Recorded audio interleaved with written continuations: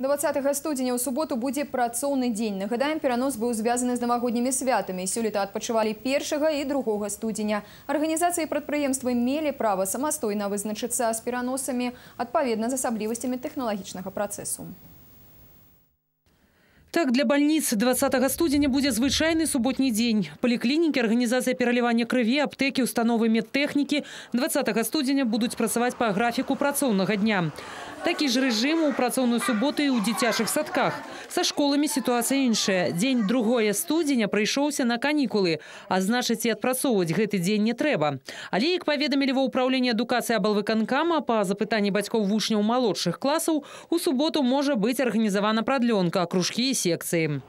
Гарадскі транспорт 20 студзеня будзе рухацца па раскладзе працоўнага дня, акрамя праўда магілёўскага аўтобуса нумар 14, які едзе да абласной бальніцы медрэабілітацыі. Бо гэта медустанова 20 студзеня жыве па раскладзе суботы.